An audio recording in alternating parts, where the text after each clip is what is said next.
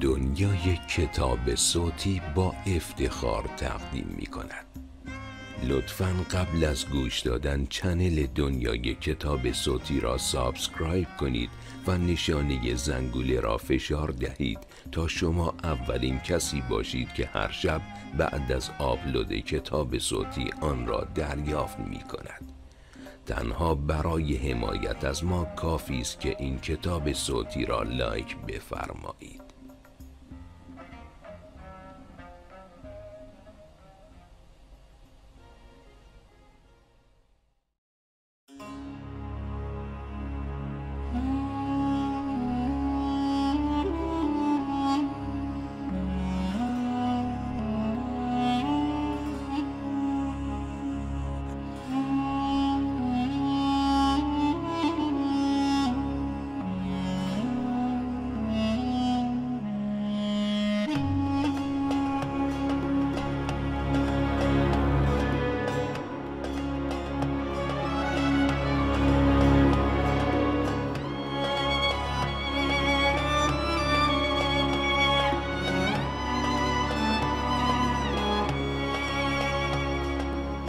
کتاب حماسه بابک خورمدین بابک در مقابل این شروع هیجان و این نوع استدلال چاره ای جز تسلیم ندید.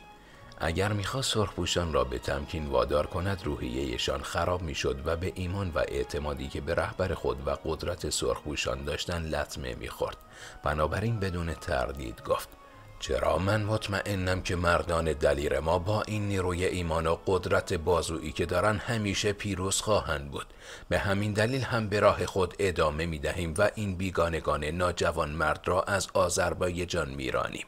سرخپوشان با ابراز احساسات شدید و کشیدن هورا از این سخنان بابک استقبال کردند و قرار شد صبح روز بعد به سوی اردبیل حرکت کنند. بابک همان شبانه پیکی به قلعه بس فرستاد. به سپه سالار خود معاویه که در آنجا مانده بود پیغام داد که فوری با پنج هزار سپاهی دیگر به دنبال وی حرکت کند. صبح هنوز آفتاب نزده بود که سرخپوشان به سوی اردبیل حرکت کردند. بابک پیشا پیش قشون حرکت می کرد و با پسرش که در کنار وی از میران صحبت می کرد پسرم فراموش نکن که شیر هرگز زنجیر نمیپذیرد. مرگ در جنگ برای ما افتخار است ولی اسارت ننگ بزرگی است. ما هرگز نباید تن به اسارت دهیم. بابک نگاهی به صورت فرزندش که با دقت به صحبتهای وی گوش می‌داد انداخت و بعد از مکس کوتاهی ادامه داد. تو یک سرداری و باید همه چیز را بدانی. من دلم نمی‌خواست در اردبیل و اطراف آن با افشین دست پنجه نرم کنم. افشین سردار کارکشته است که نیروی بزرگی در اختیار دارد. قشون او را مردان جنگ دیده و آزموده تشکیل می دهند در صورتی که سرخپوشان ما فقط به شجاعت ذاتی و ایمان سرشار و قدرت جسمی خود متکی هستند ولی از فنون جنگ در میدانهای باز اطلاع زیادی ندارند. ما جنگ بزرگ و خونینی در پیش داریم. من برای اینکه روحیه افراد خراب نشود و معیوس نگردند و احساس ضعف نکنند به این جنگ گردن نهادم وگرنه ترجیح می‌دادم به قلعه برگردم و منتظر بمانیم تا افشین پیش بیاید و در میان کوها با سرخپوشان روبرو شود. اما حالا دیگر کار از این حرفا گذشته. ما باید با تقویت روحیه افراد و تهییج بیشتر آنها امکان پیروزی خود را بیشتر کنیم. من و تو باید پیشا پیش سرخپوشان بجنگیم و سرمشقی برای افراد باشیم که آنها را در مبارزه جریتر و قویتر سازد. البته معاویه با پنج هزار سوار دیگر به زودی به ما ملحق می شود اما نباید قافل بمانیم که امکان شکست ما نیز در این جنگ زیاد است. به همین دلیل من به تو توصیه می کنم که با تمام قوای خود سعی کن از افراد خود دور نیفتی و پیشا پیش آنها بجنگی. اگر دیدی ممکن است که به اسارت بیفتی خودت را بکش. برای من و تو مرگ بهتر از اسارت است. پسر بابک با تعجب گفت پدر چرا این حرفها را می‌زنید؟ من همه جا دوش به دوش افراد خود خواهم جنگید. چرا به اسارت بیفتیم؟ بابک سرتکان داد و گفت تو هنوز جوانی و به خیلی از مسائل وارد نیستی. افشین سعی خواهد کرد تو را زنده دستگیر کند چون تو پسر منی و او فکر می کند که اگر تو را به گروگان بگیرد من تن به تسلیم خواهم داد. ولی اگر تو را بکشد من به خونخواهی تو هم که شده تا پای جان خواهم جنگید. حالا متوجه شدی پسر. برای همین است که من مخصوصا به تو سفارش می کنم که اگر دیدی دستگیر می شوی به هر وسیله ای شده خودت را بکش. این را هم بدان که اگر اسیر شدی دیگر پسر من نیستی فهمیدی. پسر بابک گفت بله پدر فهمیدم. افشین که آگاه شده بود بابک برزن را با یک شبیخون گرفته و محمد ابن یوسف را به خونخواهی ترخان کشته و تمام افراد او را از دم تیغ گذرانده است و همکنون به طرف اردبیل میآید با شتاب سپاه خود را جمع و جور کرد. با ده هزار سوار به طرف خش حرکت نمود. دو سپاه در دشت وسیعی میان اردبیل و خش در مقابل هم سفارایی کردند. افشین برای اینکه با بابک روبرو نشود خود در پشت سپاه ماند و سرداران عرب را پیشا پیش فرستاد. جنگ مغلوبه ای درگیر شد و افراد با شمشیرهای آخته به جان هم افتادند. بابک در حالی که با فریاد و هلهله افراد خود را تهییج می کرد و از چپ و راست شمشیر می‌زد و عرصه را بر سرداران عرب تنگ کرده بود پسر بابک نیز دست کمی از پدر نداشت و با تیرهای جانسوز خود سواران دشمن را از پا در می آورد. سرخپوشان هل کنان حمله می کردن و خون چون جوی آب در زمین جاری بود. حدود چند ساعت جنگ به همین شدت ادامه داشت و آنگاه افشین که وضع را به نفع خود نمی‌دید فرمان عقب نشینی را صادر کرد. اعراب بلافاصله پشت به میدان کردند و سرخپوشان خواستند به تعقیب آنها بپردازند. ولی بابک که می‌دانست افشین می‌خواهد حیله به کار ببرد دستور داد سرخپوشان دست از تعقیب دشمنان بردارند. در این جنگ عده زیادی از سرخپوشان کشته و زخمی شدند. بابک افراد خود را به قریه خش برگردان تا مدتی استراحت و تجدید نیرو کنند. معاویه و سپاهیانش وقتی رسیدند که جنگ پایان یافته بود.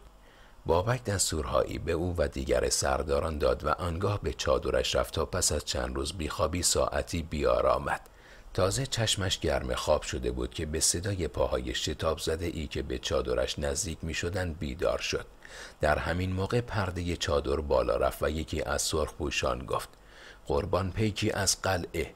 و قبل از اینکه بابک پاسخی بدهد مردی که غرق عرق و گرد و خاک بود پا به درون نهاد و کاغذ لوله شده ای را دو دستی به طرف بابک دراز کرد. بابک نامه را گرفت و با عجله باز کرد و فورا خط بانو را شناخت که با دستی لرزان نوشته بود. بابک حال مادرت بسیار بد است فورا خودت را برسان. بانو. بابک به یک حرکت از جا پرید و از چادر بیرون آمد.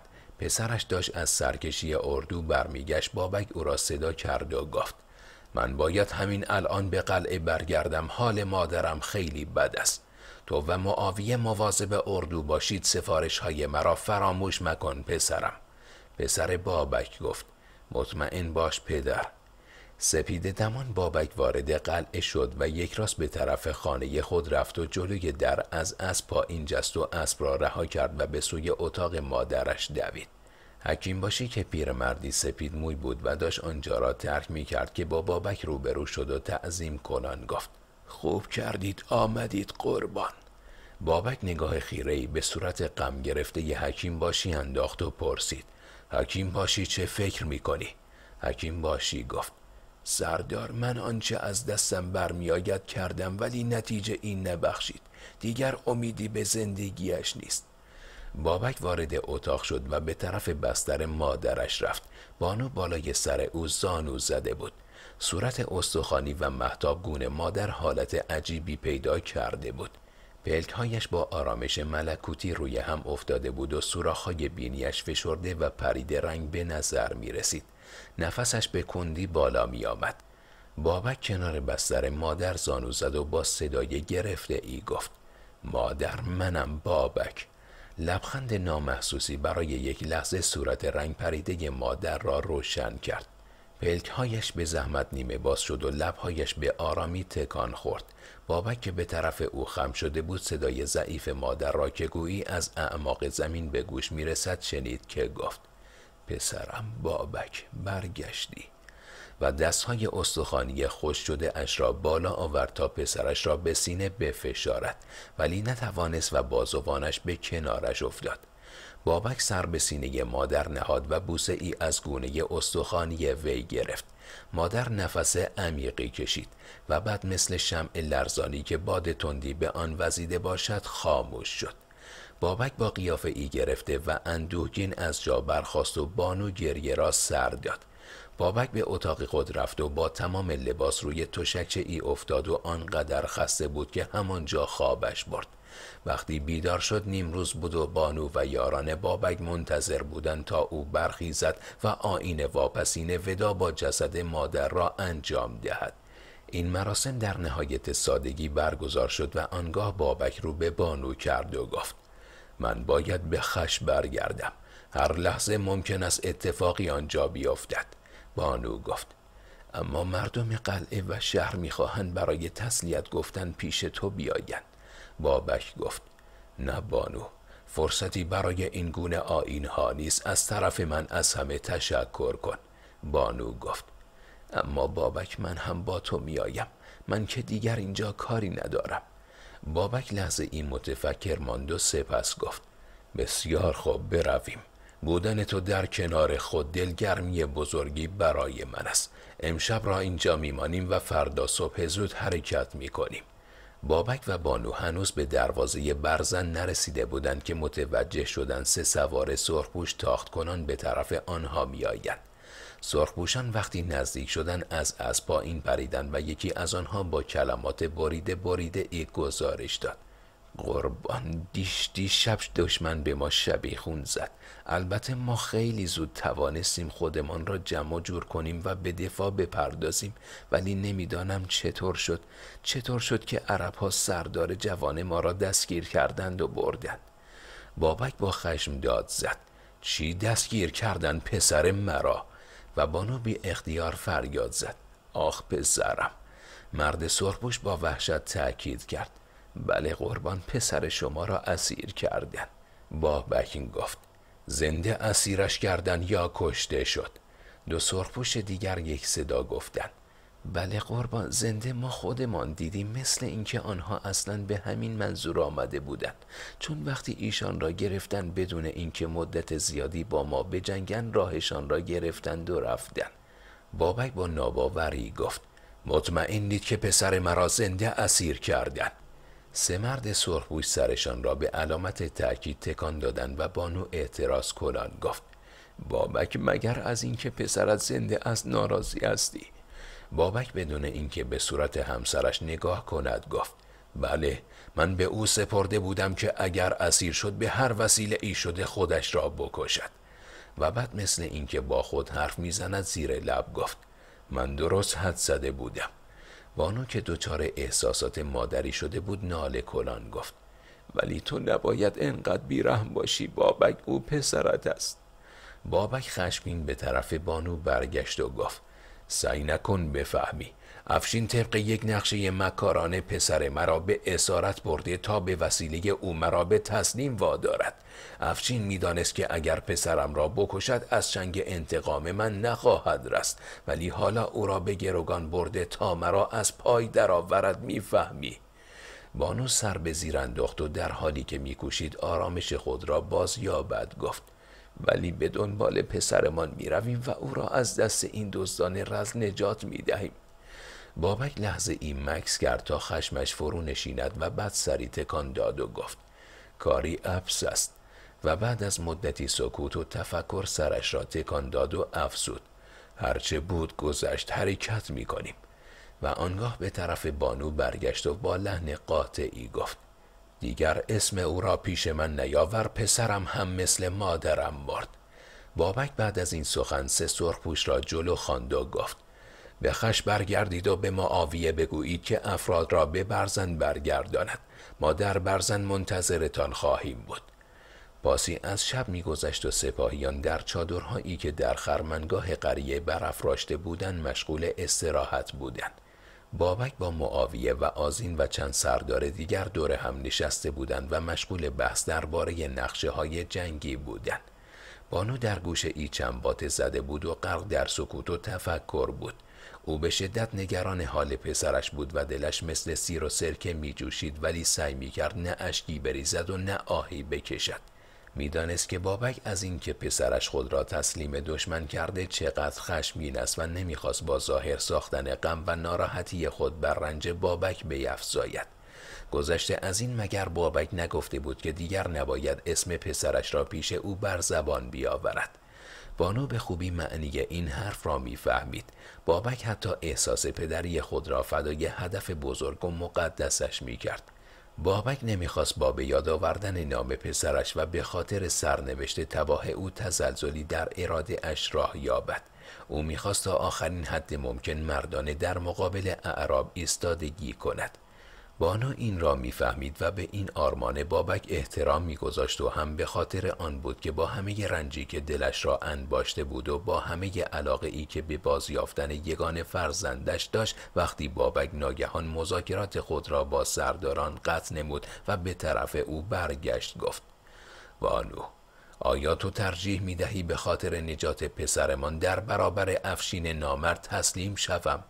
سر برداشت و بدون هیچ تردیدی گفت نه هرگز. بابک بلند شد و به کنار بانو آمد و با لحن گرم و محبت آمیزی گفت مطمئن بودم که جوابی جز این نخواهی داد.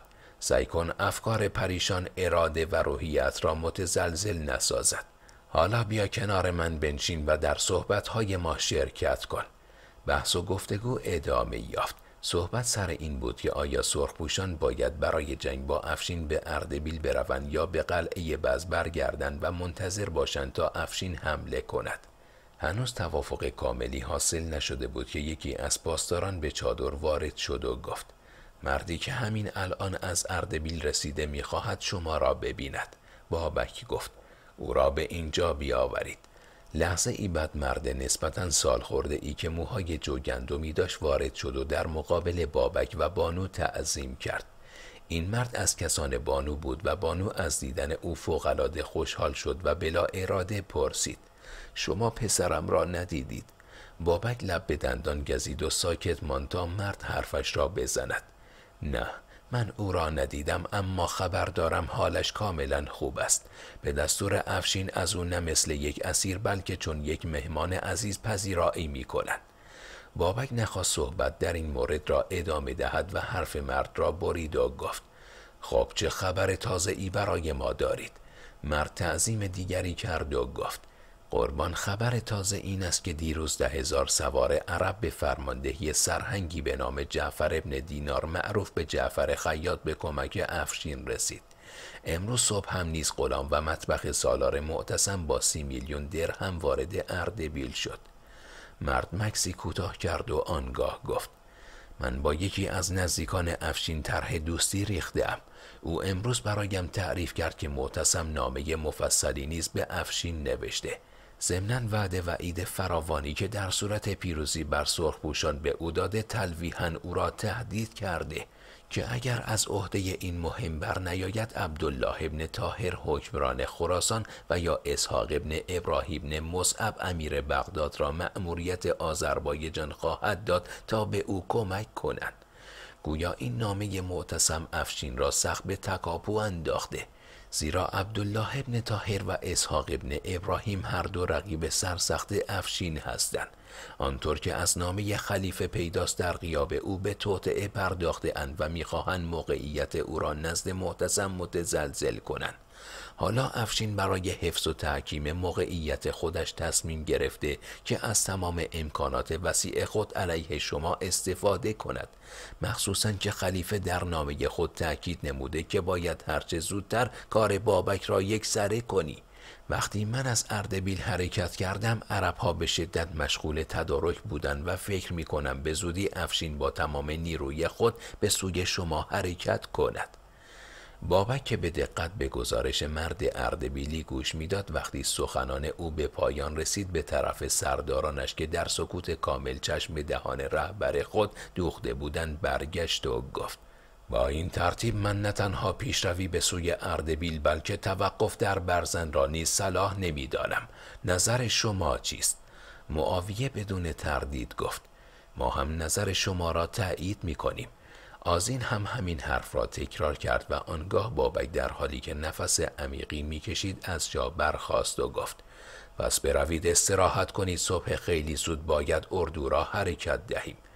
و بعد به طرف مرد اردبیلی برگشت و با لحن دوستانه ای گفت از اطلاعات جالبی که برایم آوردی بسیار متشکرم. بنشین تا غذایی برایت بیاورند. مرد سری فرود آورد و گفت سپاس گذارم سردار بین راه غذا خوردم. بابک گفت خب پس برو استراحت کن تا صبح با ما به بز بیایی. آن مرد گفت نه قربان من باید پیش خانواده ام برگردم منتظرم هستند بابک گفت فکر نمی کنی عرب ها مزاحمت شوند؟ آن مرد گفت نه من از بیراهه می روم و از دروازه شرقی وارد شهر می شوم. به این ترتیب کسی نخواهد فهمید که من به برزن آمده و برگشتم بابک بار دیگر از مرد اردبیلی تشکر کرد و آنگاه به طرف سردارانش برگشت و خنده کنان گفت من واقعا به حال معتصم تأسف می‌خورم. کار وی به جایی رسیده که حتی خیاط و طباخ خیش را به جنگ من فرستاده چون دیگر کسی با او نمانده است. صبح روز بعد سرخپوشان قریه برزن را ترک گفته و به قلعه بز رفتند بابک به محض رسیدن به قلعه پیکی را معمور کرد تا پیغام او را به تئوفیل پادشاه روم برساند. بابک در این پیام ضمن اشاره به پیمانی که میان او و امپراتور روم امضا شده بود نوشت. شاه عرب همه دلاورانش را در جنگ من از دست داده است و اکنون کارش به جایی رسیده که ناچار شده خیاط خود و طباخ خود را به جنگ من بفرستد. بر درگاه او دیگر کسی نمانده و اکنون تو نیز اگر می‌خواهی بر او می‌توانی غلبه نمایی. معتصم در پیام مفصل خود ضمن تاکید درباره یک سر کردن کار بابک راهنمایی هایی نیز به افشین کرده بود. از جمله به او یادآور شده بود که اولا برای حمله به قلعه بز نه از راه دره ها بلکه باید از بالای کوه ها حرکت کنند تا سرخپوشان بر آنها مسلط نباشند. ثانیا شبها به فاصله چند فرسخ در اطراف اردوگاه خار پهن کنند تا دشمنان نتوانند شبی خون بزنند. به همین منظور هم بارش از شطور خار برای افشین فرستاده بود. خلیفه در زم خلعت انعام پاداش فراوان و جاه و مقام عالی برای افشین و سردارانش وعده داده بود. افشین همان روز سرداران عرب را یک جا جمع آورد. بعد از آن که مقداری از پولهای رسیده را میان آنها تقسیم کرد پیام خلیفه را برای آنها خواند. برای آنکه آنان را برای یک جنگ بزرگ و خونین آماده سازد به تحریک احساسات مذهبی آنها پرداخت و پس از آنکه بابک و سرخپوشان را به کفر و زندیق و دشمنی دین و مذهب متهم کرد سپس گفت جنگ با این کفار جهاد کبیره است و موجب رضای خدا و پیغمبر خواهد بود. این کفار می‌خواهند امیرالمؤمنین خلیفه را بکشند و کفر و آتش پرستی را دوباره بین مردم اشاعه دهند. بدانید که نبرد با این دشمنان دین و خدا بر هر مسلمانی فرض است. اگر فاتح شدید عنایات و التفات خلیفه امیرالمؤمنین در انتظار شماست. اگر هم کشته شوید در حکم شهید خواهید بود و بهشت خدا با حوریان جایگاه ابدی شما خواهد بود. دعای خیر همه مسلمانان جهان بدرقه راه شماست اعراب به هیجان آمده بودند و شور و ولوله کنان داد می‌زدند برویم معطل چه هستیم؟ افشین از نتیجه ای که گرفته بود راضی به نظر می رسید او در حالی که لبخند پیروزی بر لبهایش می درخشید دستورهای لازم را به سرداران عرب داد و به آنها تأکید کرد که هرچه زودتر افراد را برای حمله به قلعه بز آماده کنند. در این هنگام در قلعه بز مسائل تازه ای که برای بابک سخت ناراحت کننده بود مطرح می شد جوانان شهری که با شور و علاقی سرشاری به سرخپوشان پیوسته بودند کم کم احساس خستگی و دل سردی می کردن. آنها در مرحله ای به سرخپوشان پیوسته بودند که هر قدم آنها با یک پیروزی تازه توأم بود و احتمال داده می‌شد که به زودی فتوحات بزرگی نصیب بابک و یارانش شود شور پیروزی جوانان شهری را به هیجان آورده و به صفوف سرخپوشان جلب نموده بود. البته در وطن پرستی آنها تردیدی نبود اما آن روح مبارزه طلبی و رزمجویی مخصوص مردان کوهستانی که شکست ناپذیر و جاودانی است بلتب در آنها وجود نداشت.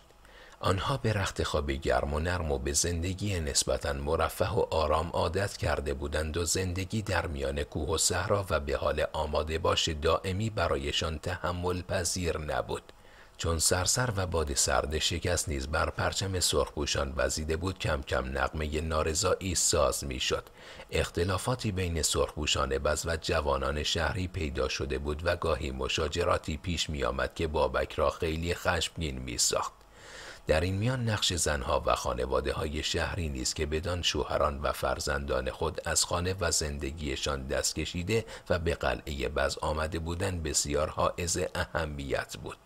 آنها روز اول به این خیال که عقب نشینی سرخپوشان موقتی است و به فاصله چند روز دوباره شهر در تصرف آنها خواهد آمد حاضر شده بودند همراه مردان خود به قلعه بروند. اما حالا که اقامت ایشان در بز به طول انجامیده بود و خبرهایی هم از شهر می رسید به هیچ وجه امیدوار کننده نبود همه پایشان را در یک کفش کرده بودند و از شوهران پدران و برادران خود می‌خواستند که آنها را به شهر سر خانه و زندگیشان برگردانند این نقنق ها و نارضایی ها مستقیما در روحیه مردان شهری منعکس می‌شد و باستاب نومید کننده ای در آنها ایجاد می کرد.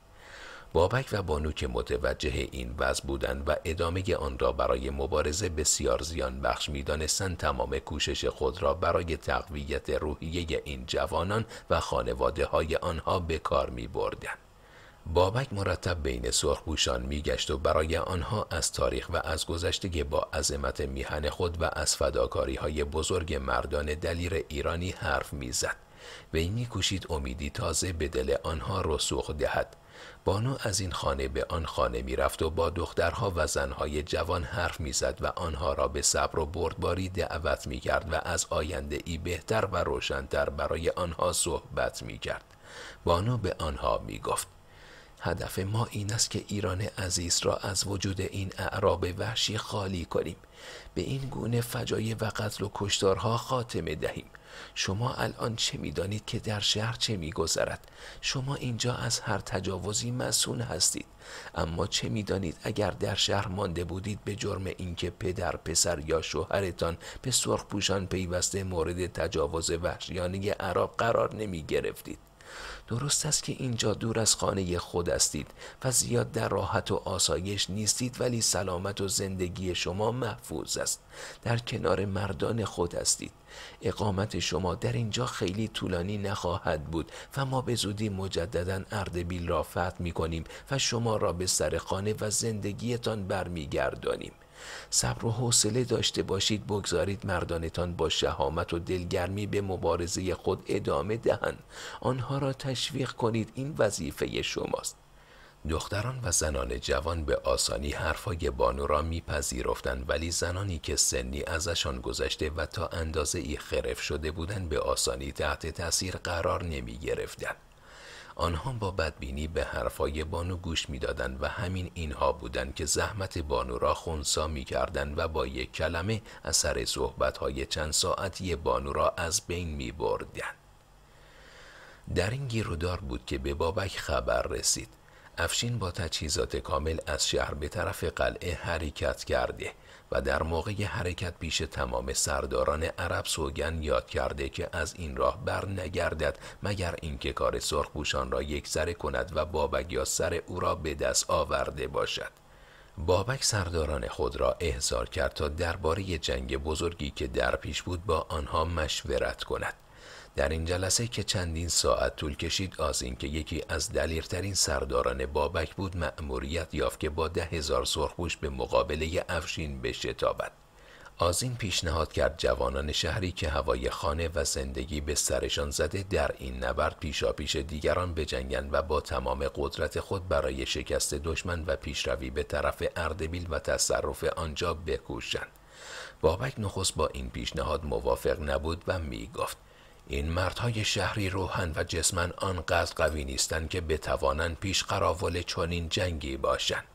بابک معتقد بود که سرخپوشان بزی و هشتاد سری و برزندی که فرزندان دلیر کوههای سبلان و مبارزین اصیل راه های آزادی هستند از عهده این نبرد سهمگین بهتر برمیآیند. اما پس از مشاوره و بحث زیاد سرانجام بابک راضی شد که در این جنگ مردان شهری را پیشا پیش بفرستد. دنیای کتاب صوتی.